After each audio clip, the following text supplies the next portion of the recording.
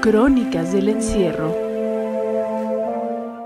Hola, ¿qué tal? Muy buenos días, bienvenidos nuevamente a Sin embargo al aire, los saludo con mucho gusto, yo soy Bianca Estrada y soy la editora de la sección Sofá, una sección dedicada al entretenimiento dentro de Sin embargo MX. Y como cada martes yo les traigo recomendaciones, en esta ocasión les traigo una lista de documentales, pero antes de abordarla, quiero recordar una noticia que se dio a conocer el pasado 7 de julio sobre el reconocimiento de uno de los restos de los 43 estudiantes de Ayotzinapa. Estos restos fueron recolectados en frente de los padres dentro del municipio de Cocula y fueron enviados a una universidad en Viena. Pues ahora se ha dado a conocer que sí, efectivamente, uno de estos restos pertenece al alumno Cristian Alfonso Rodríguez Telubre, y bueno, esta noticia de verdad eriza la piel porque acaba con una verdad que se nos ha querido pues obligar a creerla desde hace mucho tiempo y que ahora por fin esta llamada verdad histórica pues termina. Después de casi seis años de, de gritos, de pedir justicia, de exigir a las autoridades la verdad, de dar con, de buscar dar con sus hijos después de la noche de Iguala, aquel 26 de septiembre de 2014, bueno, estos padres por fin tienen una pista verdadera de qué fue, fue lo que sucedió con sus hijos aquella noche. Aquella noche que les cambió la vida a ellos y a todo México también. Pues justamente después de esta noticia que de verdad es muy muy importante, que es una noticia que hemos esperado por años y que al final pues sí, es solamente una parte de todo lo que necesitamos los mexicanos y pues sobre todo las familias para exigir justicia, para tener justicia. Bueno, quiero presentarles seis documentales que abordan este caso. Son seis, seis trabajos que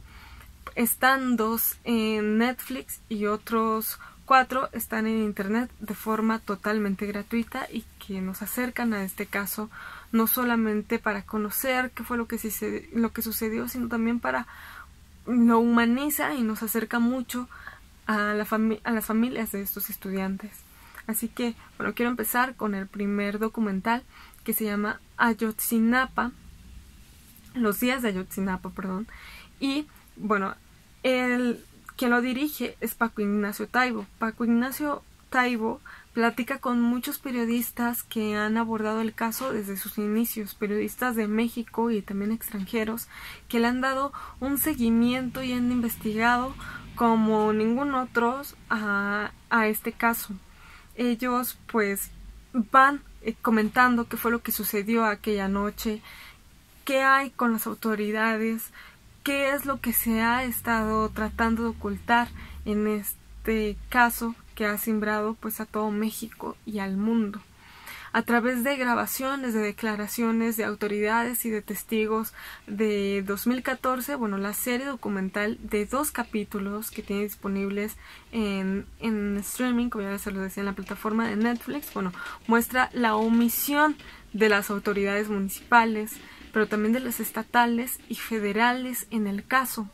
La producción disponible en Netflix, bueno, muestra a detalle cómo se creó esta pues llamada verdad histórica de la que pues nos decían y también insistía el gobierno de Enrique Peña Nieto, pues sin tomar en cuenta la investigación que también se hizo por parte del grupo de expertos independientes que de hecho pues hasta fueron casi casi sacados a patadas de nuestro país. Ese documental, como le comentaba, se llama Los días de Ayotzinapa y está disponible en Netflix y cuenta este con dos tomos que duran poco más de una hora.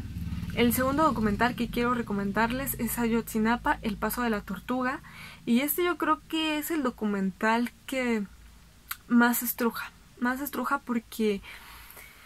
pues se acerca mucho a las familias, da esta parte más humana de los 57 estudiantes que estuvieron aquella noche en Iguala. Y pues además también muestra el orden de los de cómo se cómo se dieron los hechos aquella noche Y lo hace muy bien porque lo va haciendo con gráficos que nos muestran los autobuses en los que iban estos estudiantes, cómo se fueron acercando pues estos grupos que atentaron contra ellos y pues el recuento de todos los hechos. Eh, este documental, como les decía, es, es muy muy humano. Eh, platican con los padres y ellos a su vez cuentan a las pantallas pues los deseos que tenían sus hijos, qué era lo que, por qué habían decidido ser profesores, convertirse en maestros dentro de la normal de Ayotzinapa. Son familias muy humildes que tuvieron que dejar el campo donde laboraban, sus otros trabajos, tuvieron que dejarlos para salir de un día a otro a exigir justicia por sus hijos para saber el paradero de ellos y pues a casi seis años pues no han obtenido esta, esta justicia. El Paso de la Tortuga está dirigido por Enrique García Mesa y está coproducido por Guillermo del Toro y da muestra como las madres, bueno, tuvieron que salir a gritar a las calles no solamente de México, sino hasta de otros países en el mundo. El tercer documental que les quiero recomendar es Ayotzinapa 43, Una noche sin amanecer.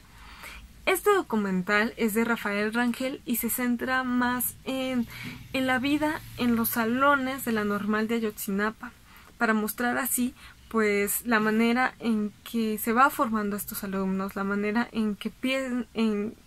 se piensa en esta normal y las condiciones de vida que tienen los estudiantes. La pobreza es el factor común que tiene esta normal junto con las comunidades en las que crecieron estos alumnos. Esta producción pues se puede ver parte de, de las pertenencias que tenían los alumnos, eh, cómo era un día en, eh, dentro de esta normal. Ese documental usted lo puede ver totalmente disponible en YouTube de forma totalmente gratuita. Recuerde, se llama Ayotzinapa 43, Una noche sin amanecer. Otro documental que también está disponible en YouTube es Ayotzinapa, Crónica de un crimen de Estado.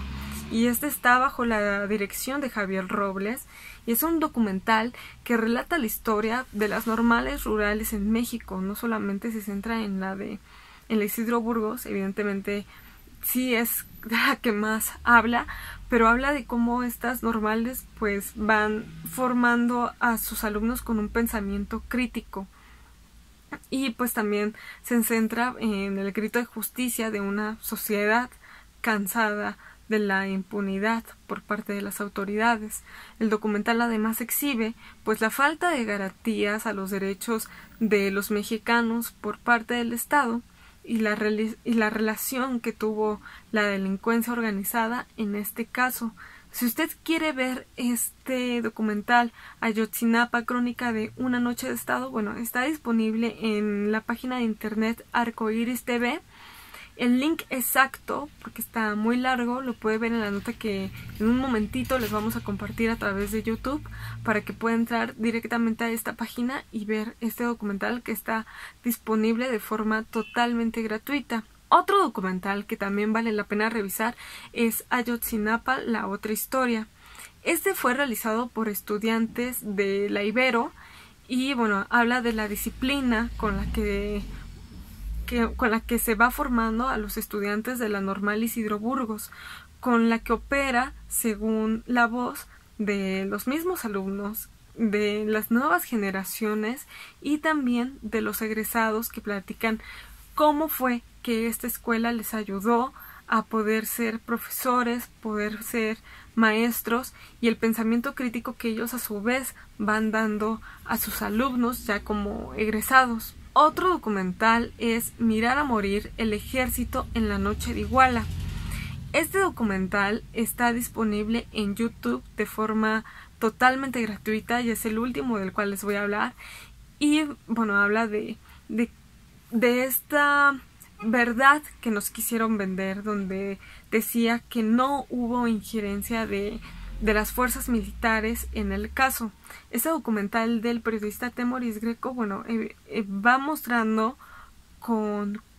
con, con hechos, con, con testimonios de muchas personas que sí, efectivamente, el, el Estado eh, la fuerza militar estuvo involucrada en la desaparición de los 43 estudiantes de Ayotzinapa y pues toda la red de las autoridades que estuvieron también dentro de este caso que atentaron contra la vida de estos estudiantes la noche de Iguala y posteriormente también en las investigaciones que se fueron haciendo y que pues movieron todo el caso que, que lo contaminaron y que fueron pues dificultando que se llegara a una verdad, que se fuera que llegara a la, hasta las últimas consecuencias de este caso. Como le decía, este documental de Temoris Greco también está disponible totalmente en YouTube. Ahí tiene estos seis documentales, cuatro de ellos están de forma totalmente libre en internet y dos más están en Netflix. Si usted cuenta con este servicio, bueno, vale la pena revisarlos, de verdad. Yo yo se los recomiendo cada uno de, ellos. Si usted puede darles un espacio para poder verlos, vale, vale mucho la pena porque vamos conociendo más allá de las cifras que nos ofrecen los periódicos, que vemos en los noticieros y nos dan un lado más humano y más severo de la información son casos que nos van acercando, perdón, son relatos que nos van acercando pues a las familias, a la lucha de esas familias que son casi seis años. Entonces, le cuento que toda esta nota la hicimos hace casi un año cuando se conmemoraban lastimosamente los, los cinco años de la desaparición de estos estudiantes, pues para recabar toda la información que se ha hecho. Eh, yo lo invito a que lo revise, a que también le dé una revisada a esta nota para que pueda eh, animarse al ver alguno de sus trabajos y lo invito también a que nos escriba, que nos diga qué tema quiere que abordemos. Igual podemos buscar a ver qué hay sobre películas de ficción, documentales, sobre algún tema en específico, para poder pues recomendarles muchas, muchas, muchas películas y documentales que sean sobre el tema. Recuerda, yo soy Bianca Estrada. Muchísimas gracias por acompañarme después de Café Noticias con Alejandro Páez Varela. Nos vemos hasta el próximo martes. Que tenga un excelente día.